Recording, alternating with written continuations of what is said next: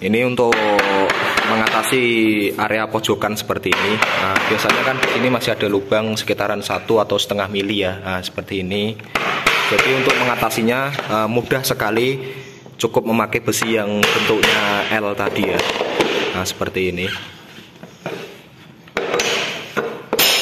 Nah, nah jadi untuk menarik ya teman-teman, untuk menarik yang sebelah sini. Jadi alatnya seperti ini. Saya gunakan tiga jenis alat Barangnya kecil tapi sangat membantu sekali. Mungkin teman-teman bisa bikin sendiri dari besi plat ataupun besi lainnya ya. Pokoknya bentuknya seperti ini. Ini untuk uh, diameternya ini yang sebelah kiri saya ini sekitaran 2 cm dan untuk yang sebelah kanan saya ini sekitaran 3 cm setengahan lah.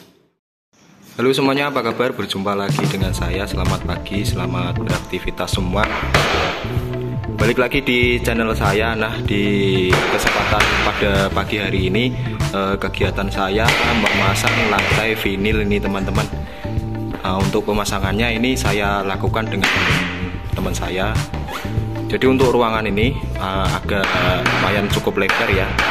Untuk ruangannya ada 10 kali sekitaran 15 meter ya untuk di, dalam ruangan. Tapi untuk keseluruhan uh, untuk pemasangan vinilnya ini tidak dipasang semua ya. Nah sebelum saya lanjut untuk mereview atau melanjutkan untuk videonya untuk teman-teman yang baru bergabung mohon bantuannya dengan menekan tombol like, comment, dan subscribe. Karena Bagikan juga video ini jika bermanfaat karena subscribe gratis nggak bayar. Aktifkan juga tombol lonceng notifikasinya ya, biar tidak ketinggalan update video terbaru dari saya seputar dunia interior ya.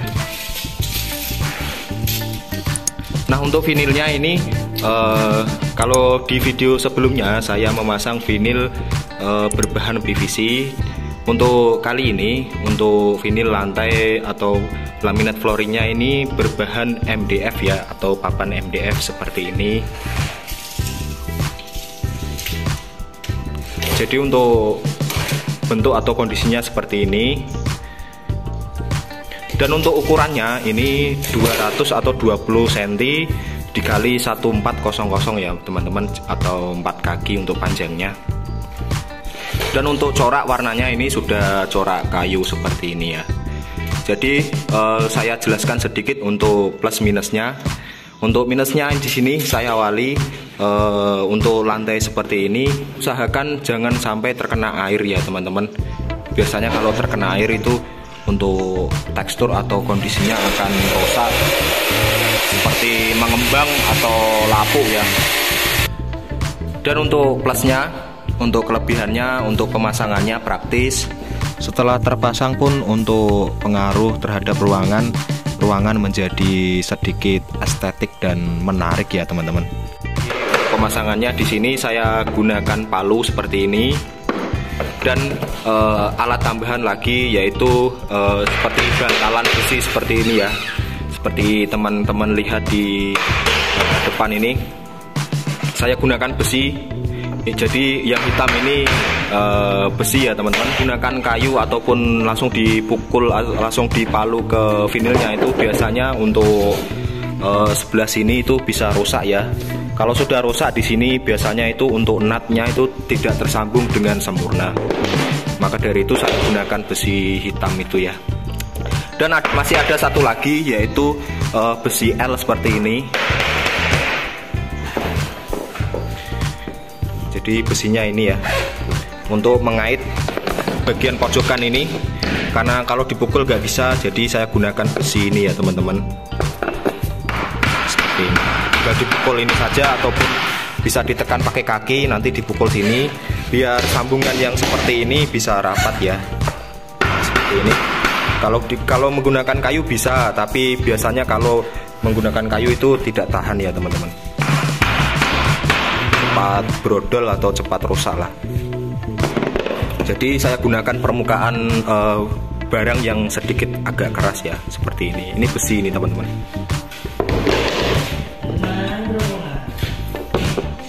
Untuk teman-teman yang sering memasang lantai vinil seperti ini, uh, boleh tulis komentar di bawah ya pengalaman teman-teman.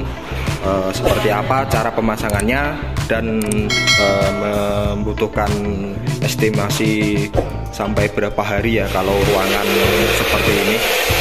Jadi untuk pemasangannya sampai ke sana sampai ke dalam sana tulis saja komentar di bawah ya.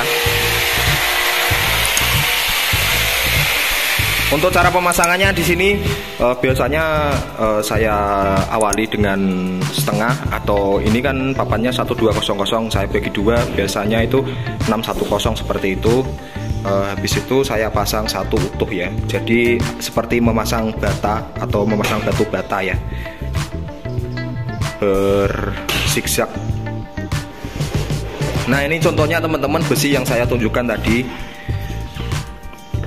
ini untuk mengatasi area pojokan seperti ini nah, biasanya kan di sini masih ada lubang sekitaran satu atau setengah mili ya nah, seperti ini jadi untuk mengatasinya uh, mudah sekali cukup memakai besi yang bentuknya L tadi ya. Nah seperti ini. Nah. Nah jadi untuk menarik ya teman-teman untuk menarik sebelah sini. Biar untuk nut yang sebelah sini ini uh, tidak ada lubang lagi ya.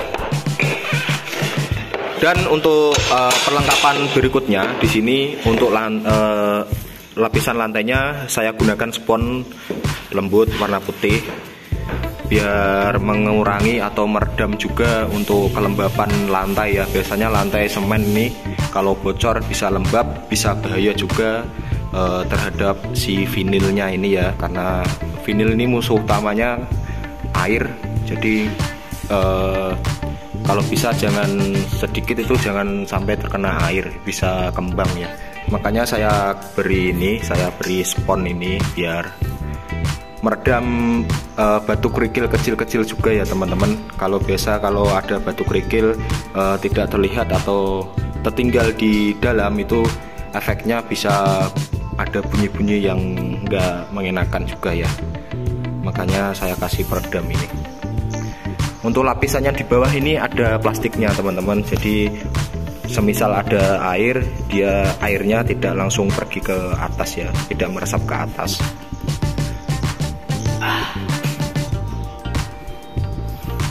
Jadi alatnya seperti ini saya gunakan tiga jenis alat.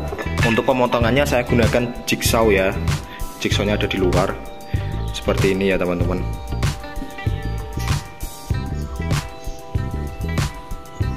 Barangnya kecil tapi sangat membantu sekali ini. Mungkin teman-teman bisa bikin sendiri dari besi plat ataupun besi lainnya ya. Pokoknya bentuknya seperti ini. Ini untuk uh, diameternya ini yang sebelah kiri saya ini sekitaran 2 cm dan untuk yang sebelah kanan saya ini sekitaran 3 cm setengahan lah untuk uh, alas pemukulnya ya dan yang terakhir uh, saran saya atau pengalaman saya ini untuk yang sebelah tepi sini kalau bisa diberi jarak sekitaran 1 cm ya karena nanti di atas masih ada list lagi list list plin ya. Ini tujuannya apa? Yaitu untuk uh, supaya si vinil ini kalau suatu saat nanti kembang ataupun dia berubah bentuk ya ataupun teksturnya itu pokoknya kembang bagian tengah biasanya kalau vinil uh, eh, MDF ini penyakitnya kembang di tengah ya teman-teman bisa naik karena kan ada uap ya. Jadi si papan ini tidak uh, tidak melawan dinding ya. Seperti ini contohnya ini nanti masih saya potong lagi sekitaran 1 cm atau 5 mili ya. Atau saat nanti dia kembang uh, di bagian tengah sini biar enggak menggelembung ya teman-teman. Jadi diusahakan untuk pinggirannya diberi spasi atau lubang sekitaran 1 cm pokoknya uh, sekitaran 1 cm lah karena untuk list splitnya nanti untuk tebelnya itu sekitaran 12 mm ya jadi bisa nanti bisa ketutup seperti itu. Pokoknya semua mutar itu harus diberi spasi seperti ini. Makanya di sini saya ganjal sekitaran 9 mili ya ini ya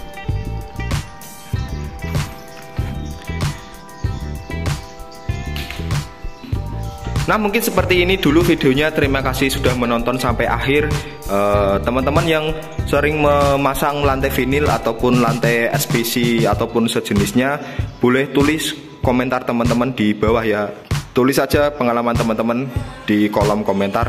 Seperti biasa, eh, mohon bantuannya dengan menekan tombol like, comment, dan subscribe. Bagikan juga video ini jika bermanfaat. Berjumpa lagi di video saya selanjutnya. Terima kasih sudah menonton. Matur suwun.